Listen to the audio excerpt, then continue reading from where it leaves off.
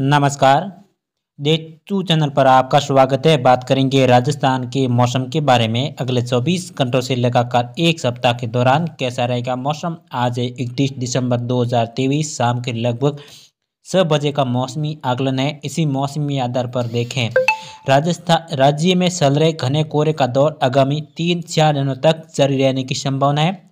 आगामी अड़तालीस घंटे में राज्य के उत्तरी भागों में कहीं कहीं अति घना कोहरा, विजिलिटी 200 मीटर से कम भी दर्ज होने की संभावना है। घना कोहरा के प्रभाव से दिन का अधिकतम तापमान औसत से तीन से छः डिग्री तक नीचे दर्ज होने की संभावना है। आगामी 48 घंटे के दौरान उत्तरी भागों में कहीं कहीं शीत दिन कोल्ड डे दर्ज होने की प्रबल संभावना बनी हुई है। राज्य में आगामी चार पाँच दिन मौसम मुख्य तरह शुष्क रहेगा।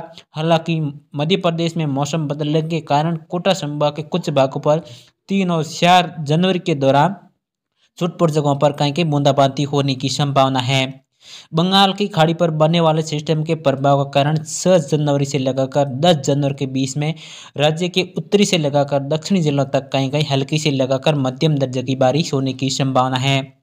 तो आप इस चैनल पर पहली बार आए, चैनल को सब्सक्राइब ज़रूर करें। जय हिंद, जय राजस्थान।